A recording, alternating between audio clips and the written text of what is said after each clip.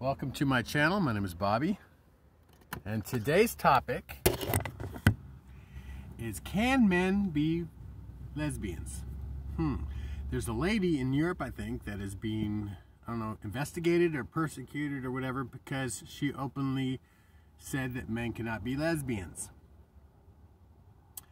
True to form, I'm pretty sure the definition of a lesbian would be a lady that likes another lady, so you'd probably have to have a vagina to be a lesbian. So in fact, she's probably wrong, but should she be censored or investigated or fired? No.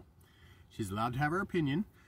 But I would like to make a stipulation, an addendum to her argument, that as a man who's contributed greatly to the cause of the female orgasm due to, you know, his contributions, I would like to think I at least have a seat at the table, babe. Maybe an honorary membership to the lesbian club. But no, no man can be a lesbian, sorry. But like I said, it, most men, unfortunately, are too pussy to eat pussy.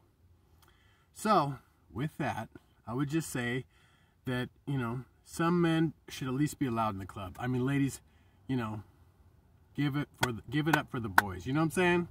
Which is Deniece Williams' song, Love It. That was on the soundtrack to Footloose, by the way.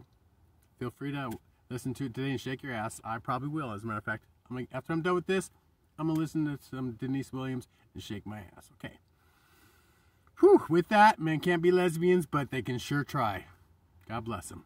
And with that, I love you, God loves you, and the universe is crazy about lesbians. Keep up the good work. Okay, bye.